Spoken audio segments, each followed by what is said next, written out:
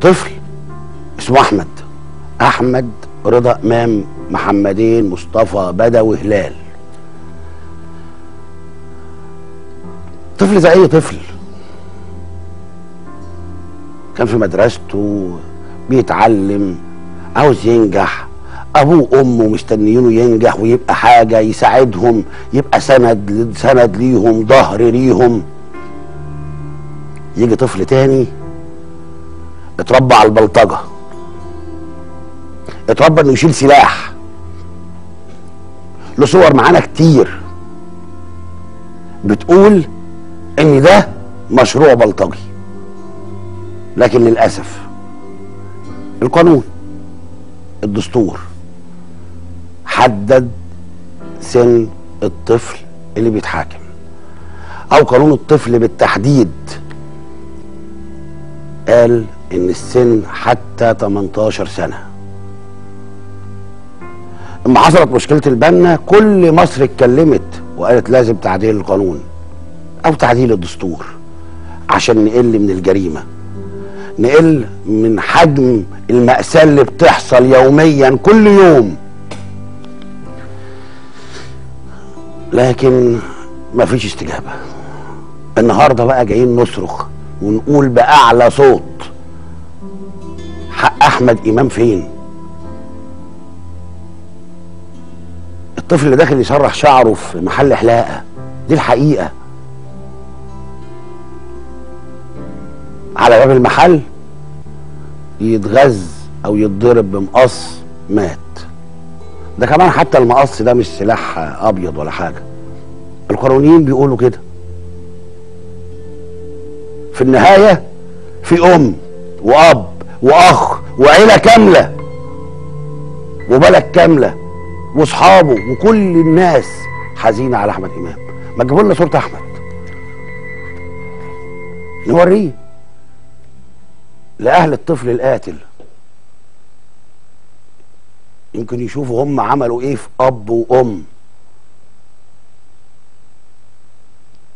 أب مش عارف ينام. أم مش عارفة تنام. أخ طول النهار قاعد يدعي لأخوه.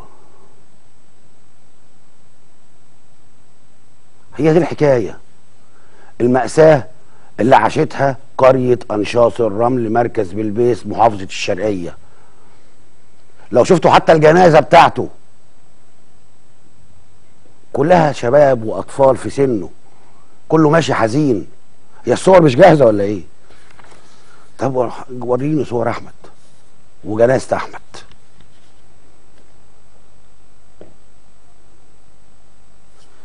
والله ما عارف آه، أقول لأبوه وأمه إيه. بجد الباقي في حياتكم. لكن آه، أكيد أكيد القانون المصري هيجيب حق أحمد. دي أحمد. دي صورة أحمد. كان طفل زي أي طفل؟ شاب. نفسه ينجح. نفسه يبقى حاجة. نفسه يساعد أهله. للأسف. أحمد ده اتقتل بأي ذنب. مات ليه؟ طبعا كلنا مؤمنين بقضاء الله وقدره. ده القاتل.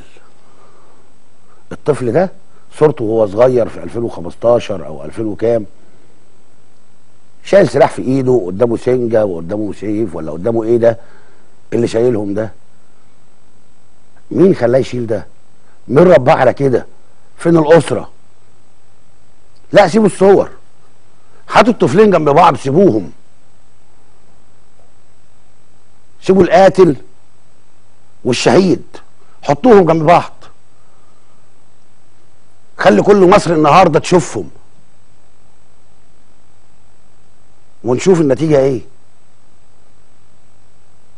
مفيش نهاية لسلسال الدم ده. مين اللي ربى ده على كده؟ مين اللي عمل كده؟